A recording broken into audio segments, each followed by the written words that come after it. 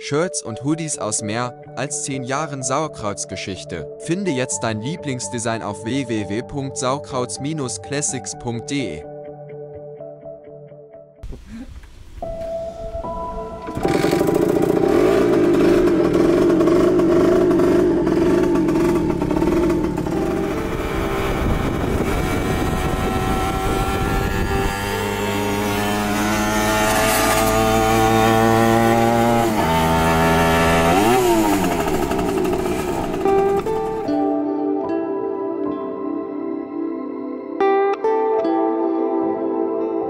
Tuning ist Familie. Also wirklich, meine Schwester, ihre Freunde waren damals 19 Jahre, alle Auto verrückt. Und ab da war für mich klar, mein erstes Auto wird ein Zweier Golf und somit ging es los. Mit 17,5 äh, die ersten Teile gehabt, Tramonfelgen gekauft, aus, aus äh, Zeiten, sag mal, äh, Geld verdient äh, ähm, und äh, ja, Fahrwerk war dann auch schon da, Koni Gelb mit Yamex 80er Federn und dann kam der 2er Golf, wurde sofort eingebaut und dann war mit 18 stand da so ein halb aufgebautes Auto schon und wurde gefahren. Also so hat Tuning angefangen.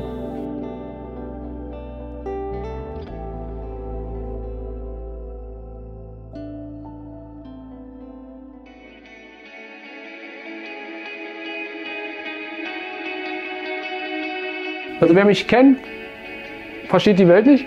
Weil ich bin eigentlich gar kein Ostfan und erst recht nicht, äh, also original überhaupt nicht, aber so an sich habe ich als People gehabt. Mopeds, warum soll ich jetzt sowas? Aber äh, mein Kollege, mit dem hatte ich eine doofe Abmachung und durch eine doofe Abmachung entsteht so ein Quatsch.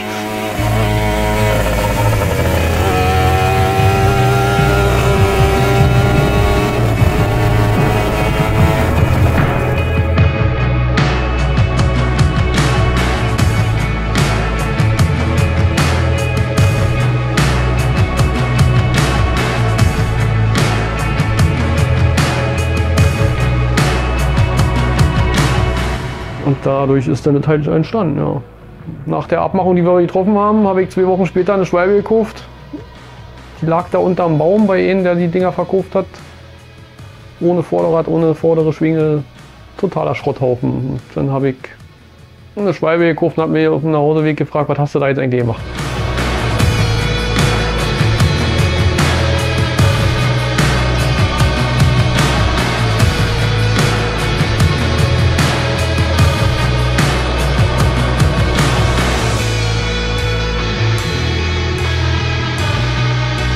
Komplett gar kein Konzept. Eigentlich Schwalbe, tief soll sie sein, schicke Farbe, fertig. Überhaupt gar kein Konzept. So, hatte kein Vorderrad, also gut, Räder, okay. Ich rumgefragt, so bei Motorradwerkstätten, habt ihr irgendein Rad zu liegen? Und beim guten Bekannten bei seiner Werkstatt, der hat ja von verschiedenen Rennmotorrädern noch Räder da gehabt. Und dann stand da so ein Harley-Vorderrad mit Bremsscheiben und Bremssättel. Und ich so gesagt, Mensch, ich glaube, ich glaube, das wird ein Harley-Rad. Ja, und so hat es dann angefangen. Dann hat das äh, Vorderrad ihm abgeluchst und dann ging es los mit Bauen. Es passt einfach ja nicht. War eine ganz doofe Idee, aber ja, nach viel Arbeit war dann das Vorderrad drin. Da sind so viele Probleme entstanden, die kann man ja nicht aufzählen, will man ja nicht aufzählen. Ich will sie vergessen. ja, und wo vorne ein Harley-Rad ist, muss hinten ein Harley-Rad drin. Also ging die Suche weiter mit einem hinteren Rad. Da wollte ich unbedingt ein Scheibenrad, also ein geschlossenes Rad und dann war das ganze Theater hinten nochmal und so entstand es eigentlich Stück für Stück. Die Blecharbeit entstand auch. Ich habe eigentlich vorne einfach angefangen und darauf hingebaut. Einfach gebaut, gebaut, einfach nur den Kopf immer freien Lauf gelassen. Jeden Abend für zwei Stunden abends, anstatt an Fernseher zu sitzen, wirklich ab in die Werkstatt. Und dann ging es los.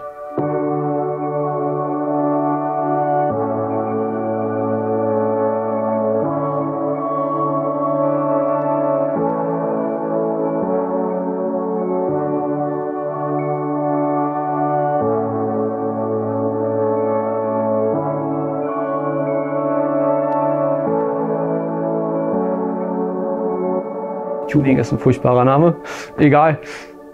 Aber ich nenne es mal Umbau an Fahrzeugen ist schon wie Abschalten. Also das ist schon so, egal wie die Tage sind oder egal wie das man Höhen und Tiefen gibt im Leben, aber das ist schon so was, wo ich einfach abschalten kann, wo ich mal sagen kann, da bin ich für mich, mach mein Ding. Man macht den ganzen Tag schöne Sachen für andere Leute, Und da macht man was für sich. Man fordert sich auch da im Gewissen, ne? das, je nachdem, wie jeder kann. Und das finde ich eigentlich äh, das Thema Tuning. Also äh, klar, ist eigentlich ein einsames äh, Hobby prinzipiell, wenn man es richtig betreibt, weil man sitzt halt viel in der Garage und wenn man dabei nur äh, ein Bierchen trinkt und blöde Quatsch, passiert ja nichts. Man muss schon was machen dabei. Aber an sich ist das erstmal grundsätzlich ein Runterkommen, dass man einfach so innerlich ein bisschen den Mittelpunkt findet. Das ist eigentlich ein Thema Tuning. Every single day I feel the pleasure.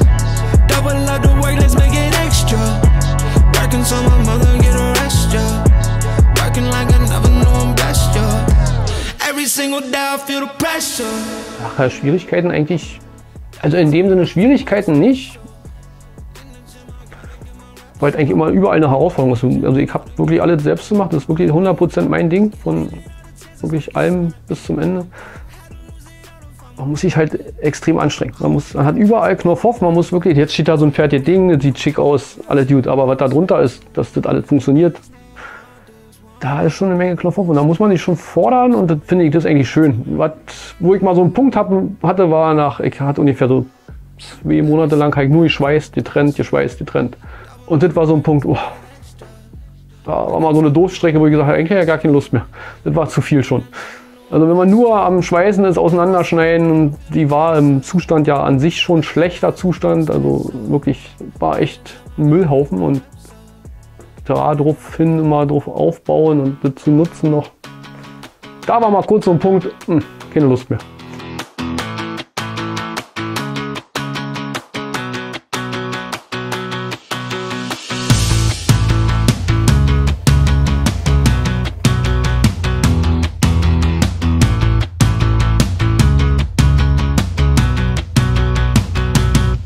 Das ist zum Beispiel so eine Sache, also sie war so grob erstmal fertig, geschweißt, sah super clean aus.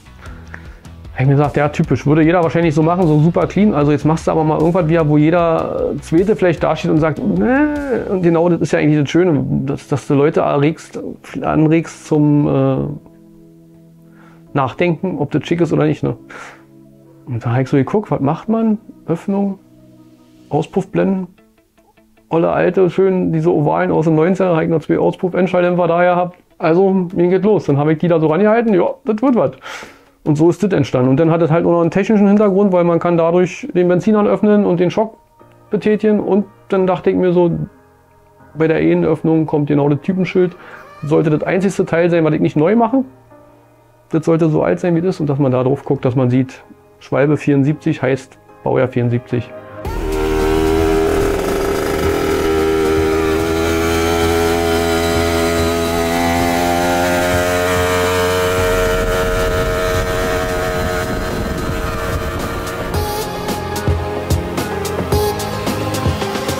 der Anreißhebel und der Schalthebel ähm, ja, war pauschal erstmal klar durch die langen Tritter, Bretter ist mit Ankicken nicht mehr möglich, also Anreißhebel gut. Und dann ähm, Familienurlaub gehabt, abends da gesessen, angefangen zu zeichnen. Zu zeichnen, zu zeichnen.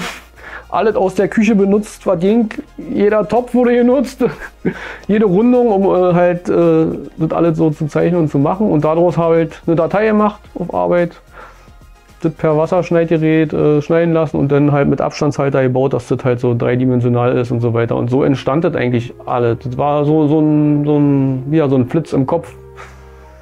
Und warum kaufen, wenn man es selber machen kann? Ne?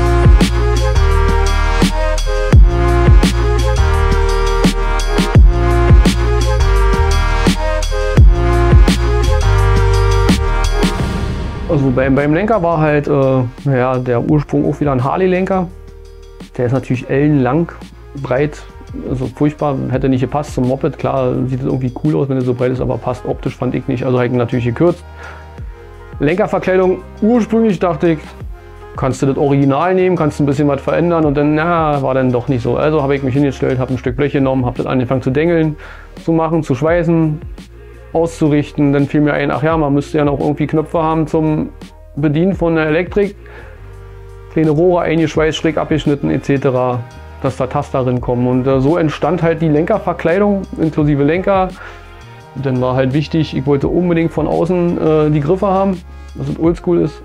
Bedeutet bei einer hydraulischen Bremse, ich fange mit dem Mountainzug an, muss aber unten mit hydraulisch enden. Also habe ich zwischendrin von der äh, GSXR, von der Suzuki, eine Hydraulikbremse verbaut. Die wird vom Bautenzug gezogen und geht dann weiter an eine Bremssättel von der Harley. Ja, so entstand, also ist halt entstanden, ist halt von eins ins andere.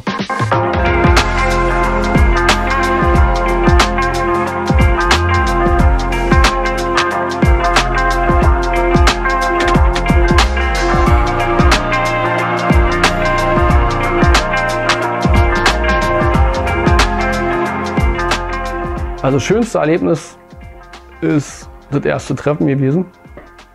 Ähm, muss man wirklich sagen, also unglaublich. Ich habe im Winter, wo ich noch mittendrin war bei diesem ganzen Projekt, äh, äh, habe ich ein Treffen entdeckt, wo ich mich erstmal rein recherchiert habe, was in der Ostszene so los ist, weil wie gesagt, bin da komplett neu. Und dann habe ich so ein Treffen entdeckt, Low DDR, cool. Ich gekickt, geil, bewirbst du dich mal, hab hingeschrieben, wollten sie Bilder haben vom Pferdchenprojekt, ich sage, ist schlecht, bin gerade mittendrin. Gut, habe ich gesagt, aber ich schicke euch mal ein paar vom Aufbau. Da kam halt bloß, okay, krasse Projekt, wir machen eine Ausnahme bei dir, das Ding wollen wir unbedingt sehen. Das war auch ganz gut so, weil ich dachte bis dahin, ganz viel Zeit, das schaffst du dicke. Das ist aber dadurch, dass immer mehr Sachen im Kopf entstanden sind, ist die Zeit verrannt. Und ich hatte aber wenigstens ein Ziel. Ich wollte, wenn nicht, äh, alles hinhaut, wollte ich das Ding da präsentieren. Und wirklich das allererste Mal irgendwelchen Leuten zeigen. Und das hat geklappt und ich bin auf diesen Treffen gewesen. Und ich war eigentlich baff. Ja, ich kriege jetzt noch Gänsehaut. Äh, diese Leute, diese Szene, mega. Das ist, ich bin ja total unbekannt da gewesen. Also klar, man kennt da ein paar Leute, aber jetzt im Großen und Ganzen, aber das ist ja wie eine große Familie gewesen. Und das war eine Atmosphäre, die war unglaublich. Ja, die Jungs von äh, Ostblock und VL, boah, Wahnsinn, unglaubliche Typen. Und die ganzen anderen Leute auch, wie viele da auch begeistert waren von den anderen Ausstellern. Ich fand es einfach nur sensationell. Und das war, das war für mich, da war ich einfach nur baff, diese Atmosphäre miterleben zu dürfen und das dann auch noch da zu zeigen. Und dann ist es natürlich auch so gut angekommen, weil ich nur nicht wusste. Ich war an dem Zeitpunkt, ich habe so wirklich Freitagabend, halb elf, fertig gehabt, sondern früh eingepackt, dahin gefahren und ich brauchte erstmal Abstand, weil ich konnte das Ding eigentlich gar nicht mehr sehen. Also ich, ich habe sie da auf, auf, so ein Podest gestellt, habe sie mir angeguckt, ist sie jetzt schön oder nicht, ich weiß es nicht. Ich bin erstmal eine Runde gegangen und ich... Aber anscheinend muss es schön gewesen sein, weil die Leute fanden es ganz gut.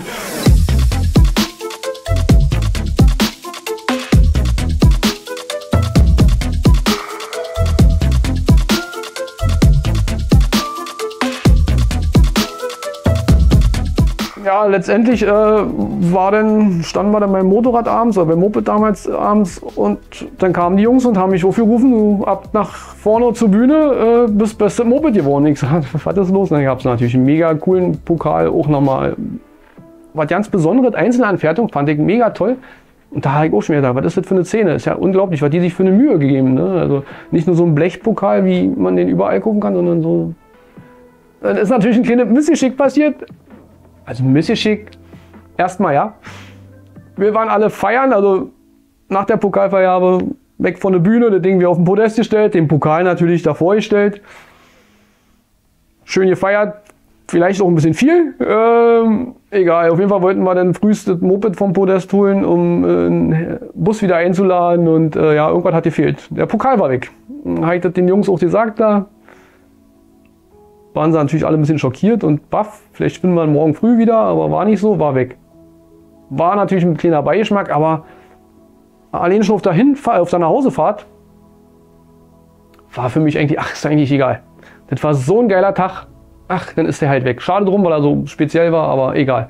Eigentlich ist es doch egal. Dann haben die Jungs sich aber gekümmert und haben auf Instagram da große Theater gemacht und tralala. Unglaublich. Selbst Ditte macht so eine Kehrtwendung, so eine tolle Kehrtwendung. Da kriegen die wirklich Post im Karton, der Pokal mit einem Entschuldigungsschreiben, mit einem Zehner drin, damit das Ding wieder zu mir geschickt werden kann. Ich sage, ich sage, das ist schon wieder so genial, unglaublich. Also schön, dass das passiert ist. Und denen, denen passiert ist im Suff wahrscheinlich, ey, die können sich gern bei mir melden, den nehme ich ihnen aus, weil ich fand das so super, weil die hätten das einfach wegschmeißen können. So, guck, guck mal, Freunde. Da ist es. Da ist es. Es ist alles heile, alles schick. Und der, der das gebaut hat, ist gerade Am Telefon. dort am Telefon. Also, Sag mal so, Christian. so, dein Pokal ist wieder da. Zumindest. So muss das. So, jetzt werden wir den Gewinner jetzt zukommen lassen. Sehr schön. So. Freunde, wisst ihr Bescheid? Also, dumme Aktion gewesen, aber gutes Ende. Aber nee, die schicken es zurück. Die haben die Eier und schicken es zurück. Und das fand ich echt schön. Das war, selbst das hat zum Schluss wieder gezeigt, was das für eine tolle Szene ist.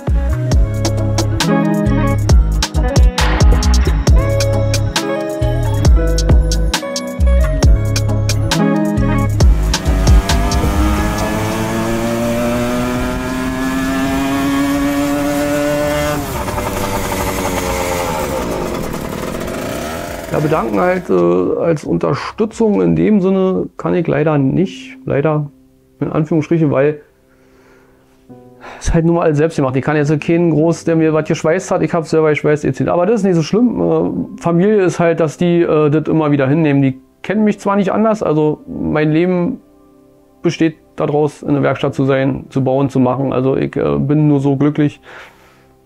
Relativ normal ist das also, was da passiert ist von der Zeit, aber trotzdem muss man das natürlich äh, erstmal tolerieren und das ist schon mal ein Dank an die Familie, dass man sagen kann, dass sie ihn lassen. Es gibt immer Knatsch bei so einer Projekte, keine Frage, weil man hat, man sitzt manchmal am Tisch und ist halt nur noch, et ackert, et ackert, et ackert, et ackert, das ist äh, nun mal so. Aber gut, ansonsten, so bin ich nun mal und äh, so war ich schon immer.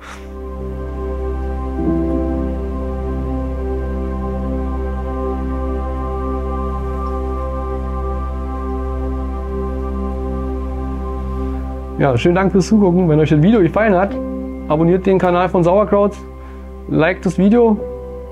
Wenn ihr Fragen habt zum Moped, schreibt Kommentare drin, wie ihr wollt. Ansonsten macht's gut, vielleicht sieht man sich mal auf dem Treffen.